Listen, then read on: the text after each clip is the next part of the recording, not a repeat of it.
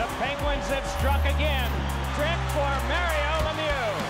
Loses to Howe, but behind it comes Lemieux. Hooked it in! The fifth goal of the hockey game for Mario Lemieux.